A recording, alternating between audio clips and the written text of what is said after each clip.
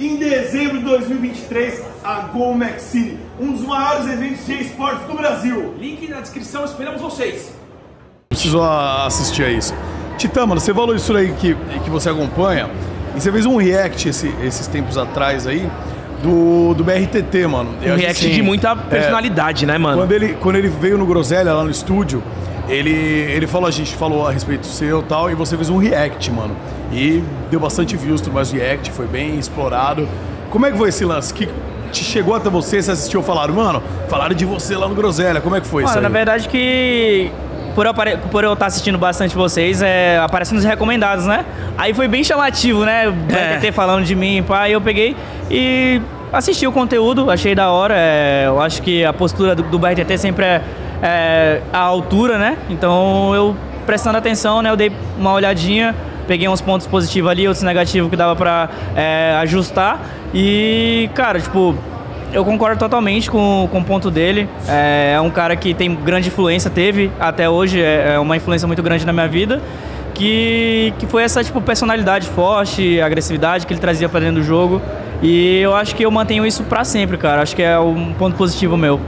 Você também é um jogador agressivo, né, mano, na lane. Ah, bastante. Você, você teve inspiração, tipo, além do BRTT, vamos dizer, no, no esportes aqui no Brasil, no competitivo, teve mais alguém que você se inspirou, que você acompanhava muito como ADC? Aqui no Brasil, como a The Carry, cara, ele era o nome, maior nome do, do Brasil. É, acho que é uma imagem assim a, a se ter. E eu sempre olhei muito pra ele como não só essa, essa influência de tipo, ser agressivo e pá, mas de uma personalidade fora de. Fora do, Do jogo, né? É. Dentro do, do Rift. Pô, ele não tem... ser só um jogador, ser uma Exatamente, personalidade, né? exatamente, Pra exatamente. galera pegar e você, mano, você tá andando no, no shopping, você tem sua marca. Hoje você tá com esse Exatamente. cabelo aí loirinho, pá, né, mano? Aí o cara não, já pega e fala, pô, é, o que, Titã, cara, vejo de longe, tá ligado? Você sendo jogador hoje em dia é muito fácil, cara. Tipo, você jogar é muito fácil, né? Ah, O difícil é você ter uma imagem ali, trabalhar aquilo tudo pra que as pessoas possam te olhar com, como um exemplo, né? Como uma influência, um orgulho a mais, assim. Quem que... Qual foi o primeiro time profissional que você jogou no LoL? Profissional foi a Kabum. Eu tive dois times só, cara. Minha, tipo, em Né, questão de time tá- assim... Eu lembro que a primeira vez que eu vi você jogar, você tava no time da Ilha da Macacada, mano. Lembra É, disso que- daí? Que tinha até uma. lembro. Você jogava na webcam, mano. E na época Nossa. você era bochechudinho, assim, só pra ver suas bochechas, mano.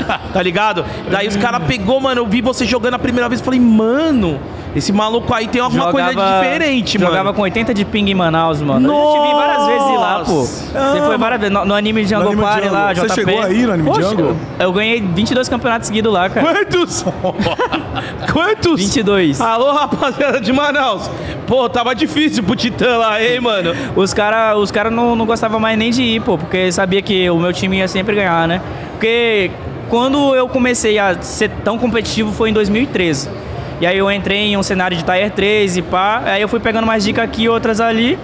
E, mano, não consegui mais, tipo, perder no, no regional, mano. Porque não era tão difícil também, pô. Não tinha tanta competitividade quanto é hoje, saca? Caramba, mano, 20 e quantos? 22, pai.